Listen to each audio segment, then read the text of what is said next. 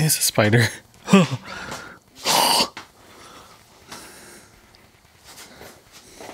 Check.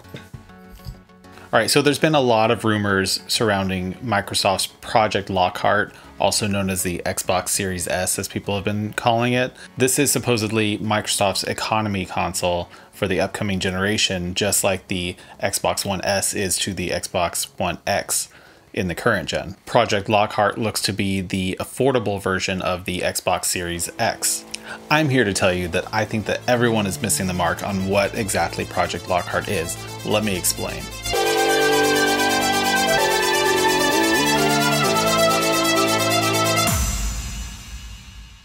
Let's take a look of what we know.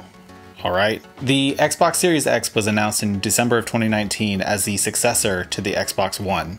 It is lauded as the flagship device for the next generation for Microsoft. It's going to be running games natively at 4K or maybe even 8K at high frame rates. What is interesting though is that for the first couple years, games that come out on the Xbox Series X will also come out on the Xbox One.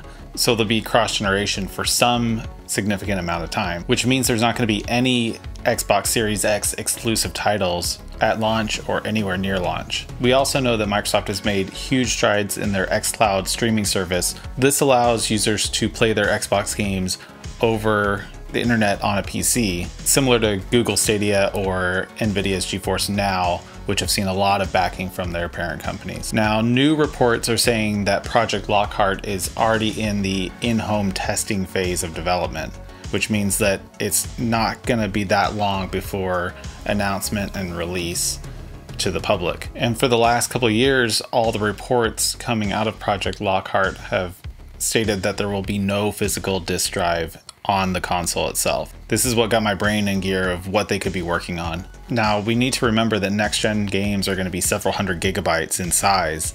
I mean, just look at Call of Duty Modern Warfare and Warzone is over 200 gigabytes in the, on the current generation, a diskless budget console is going to immediately run into storage issues.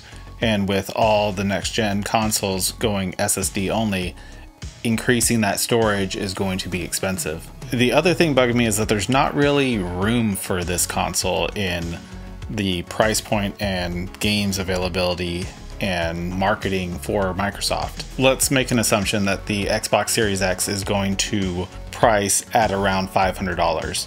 Now, a more budget friendly console would have to be around $300 to $350. The only problem is that Microsoft already has a $300 console in the Xbox One X, which has about the same specs that a next gen budget console would have, save for the SSD. The other thing is that the Xbox One X will play all of the same games that are coming out on the Xbox Series X at launch and for years to come. Why would Microsoft spend R&D developing a new console that will be almost identical to a console that they've already done that for with similar specs? That's why I think that Project Lockhart is going to be a bare bones streaming only console, way undercutting the price point of consoles nowadays. Now imagine Microsoft has three pricing points for their ecosystem. The Xbox Series X at $500, the Xbox One X at $300, and Project Lockhart at $100, for example. The device could come with a controller and have similar specs to a high-end streaming device that you can get nowadays. Think an NVIDIA Shield, but without the Android TV media focus core. You know, something that could stream from the cloud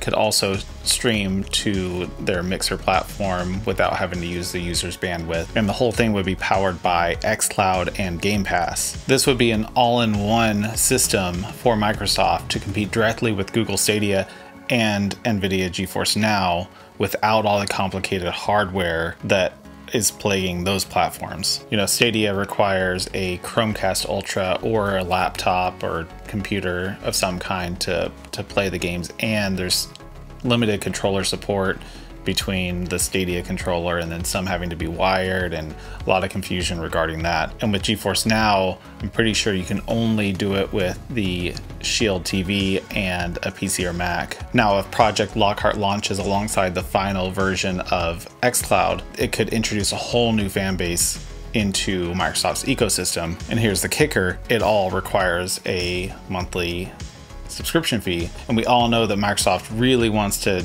to hone in on their services business. So this would pretty much guarantee a constant revenue stream from people who buy the device because they would it would have to piggyback on Game Pass and xCloud and Xbox Live.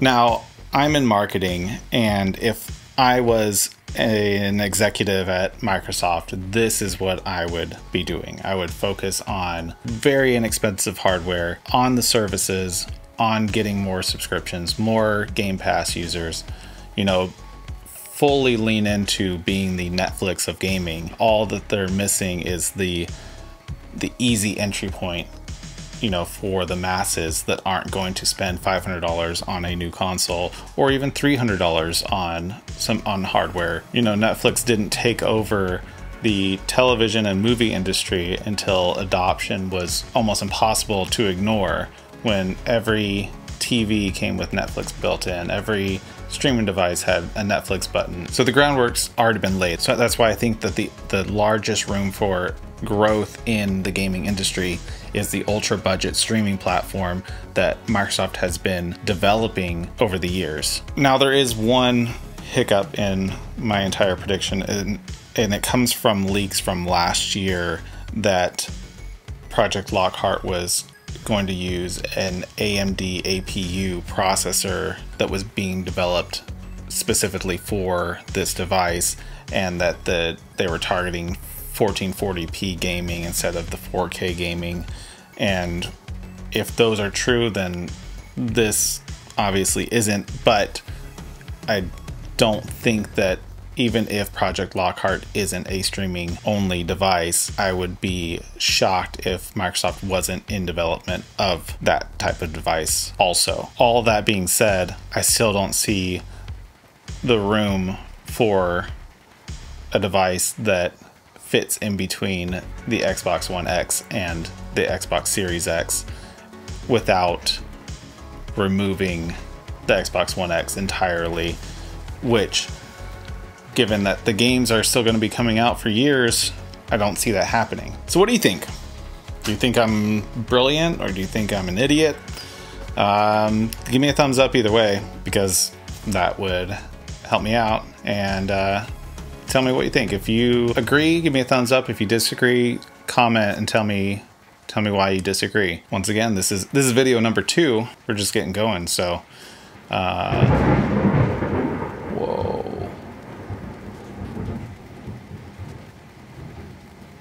That was crazy. That was nuts. So loud. Yeah, are you are you getting an Xbox Series X? Are you holding on to your current gen? Are you buying current gen now while prices are dipping? Uh, what are you looking forward to? What do you think it, Project Lockhart's going to be?